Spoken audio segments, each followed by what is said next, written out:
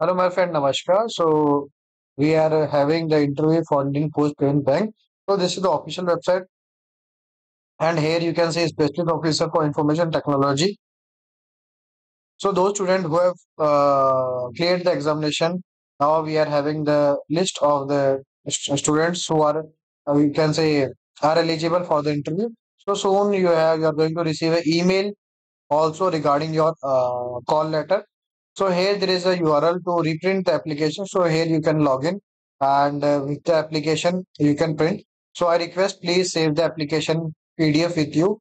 And in my opinion, soon they are going to share another URL in that you can download your admit call letter also. But as of now, there is no URL. In a few upcoming days, they are going to make it available. If in worst case there is no link to download the admit uh, call letter for the interview.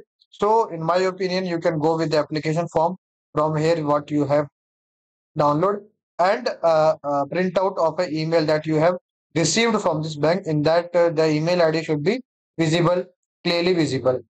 So, with that, also you can go for your interview. And for mock interview, there is a uh, Telegram group that I will share in the uh, comment section of the video where you can click and you can also give the mock interview. And uh, uh, those students who are shortlisted, here again, I wish you very all the best for your interview.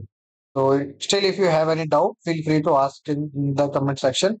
And uh, the URL here, the application reprint, the web page and the list, I will share in the comment section of the video. तो इसी के साथ दोस्तों जय हिंद जय भारत